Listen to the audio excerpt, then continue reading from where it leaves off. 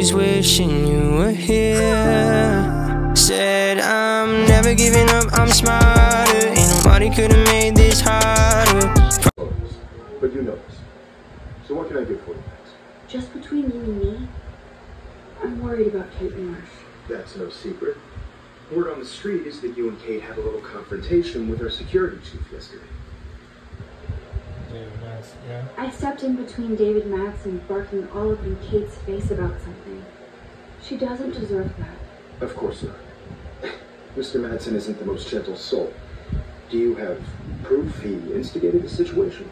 My word isn't good enough? For one time I choose not to take a picture. Always take the shot. My number one rule of photography. And Max, I promise this matter is being discussed by the faculty. Okay. I assume you know about this viral video? Um. Orpy now. Kate's freaked out by all of this. She can't do homework while she's being tormented on a daily basis. What if Kate brought this on herself? She means well, but maybe she doesn't protest too much. She seems like she's holding back the truth. Have you talked to her? Uh.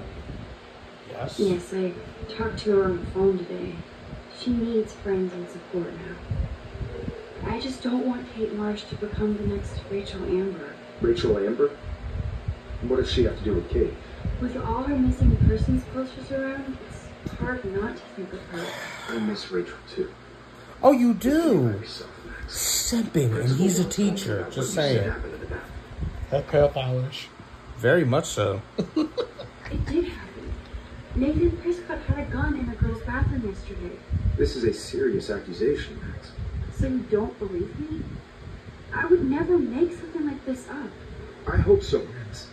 But it's easy to point fingers. If Mr. Madsen claims you might be a pot dealer as he did, should I believe him? Listen, should I?